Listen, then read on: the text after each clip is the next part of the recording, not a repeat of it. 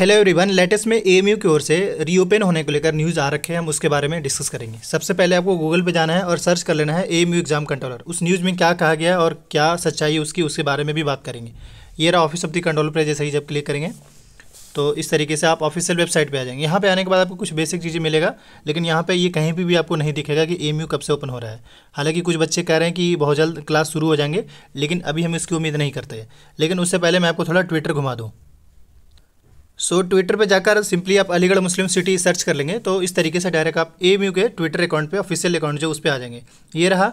इसके अलावा यहाँ पे साफ़ दिख रहा है ए ऑफिशियल प्रो ये उनके ऑफिशियल वेबसाइट है। इसके अलावा लेटेस्ट में जो भी नोटिस एंड अपडेट्स आते हैं यहाँ भी आपको अपडेट करी जाएगी। ये जो लास्ट जो अपडेट हुआ है वो वन डे पहले हुआ है। और अगर हम इसको आप ओपन करेंगे यानी इस पर क्लिक करेंगे इस आर्टिकल पर तो यहाँ पर आपको डेट एंड टाइम भी दिखेगा। अभी मैं आपको वही दिखाना चाह रहा हूँ। ये रहा।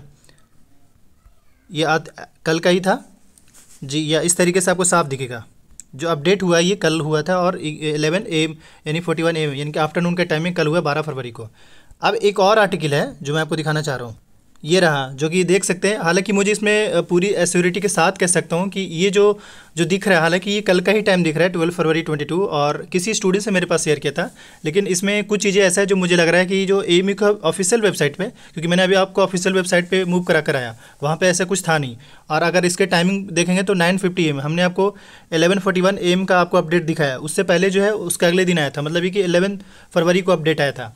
अब हम इसकी बात कर रहे हैं। देखिए, इसमें ये कहा जा रहा है, Aligarh Muslim city will reopen again from March end offline classes will be run with hundred percent ये सारा सर जो है, हमारे हिसाब से ये फेक लग रहा है और पूरे इसमें फेक इसलिए लग रहा है क्योंकि अगर आप इसको देखेंगे यहाँ पे ए एम यू तो यहाँ पे तो उन्होंने ए एम यू ज़रूर लिखा है, लेकिन यू को जो स्मॉल कर दिया गया एक बात यहाँ पे ऐड कर दे, कभी हमेशा ऐसा होता है लाइक जैसे कोई ऐसा इन्फॉर्मेशन जो स्टूडेंट्स के पास ज़्यादा डिमांडेड वाले जैसे इंट्रेंस एग्ज़ाम को लेकर, या एप्लीकेशन फॉर्म को लेकर, या फिर ऐसा अपडेट हो जिसपे स्टूडेंट्स का डिमांड ज़्यादा हो तो बराबर ऐसा होता है कि कोई फेक नोटिस जो है वो पब्लिश कर दी जाती है, ताकि स्टूडेंट्स को ऐसा लगे कि नहीं, अगले दिन ओपन ही हो जाएगा।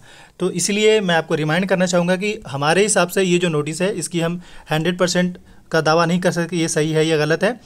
चांसेस ज़्यादा है कि गलत है क्योंकि अगर आप एम यू को देखेंगे तो यहाँ पे A capital M U M भी कैपिटल है बट यू जो यहाँ पे स्मॉल है। लेकिन इसके ट्विटर अकाउंट पे जाकर देखेंगे तो एम यू जो है वो कैपिटल में लिखा हुआ है। तो साफ़ ही यहाँ पे गलत दिख जाता है। सो so, अभी इधर उधर से आप कहीं भी ध्यान मत दें जो कोई भी अगर आप कहेंगे कि सोशल मीडिया के थ्रू कि कल से या अगले मंथ से आपके शुरू हो जाएँगे बिल्कुल भी आप दावा मत करें। हाँ अगर आपके क्लास से पता चलता है लाइक आपके प्रोफेसर वगैरह बताते हैं तो वो आप उसको एक्सेप्ट कर सकते हैं। अभी कुछ बच्चे कह रहे थे कि अप्रैल से कुछ बच्चे अभी कमेंट में उन्होंने कमेंट कराया, बोला है कि हमारे टीचर्स जो डिस्कस कर रहे थे, उनका कहना था कि अप्रैल से जो है most probably hundred percent student के साथ क्लास ओपन हो जाएँगे। तो ये जो नोटिस है वो फुल्ली गलत है, मैं ये कह सकता हूँ बट आप अवेयर हो जाए, मैं यही कहना चाहूँगा।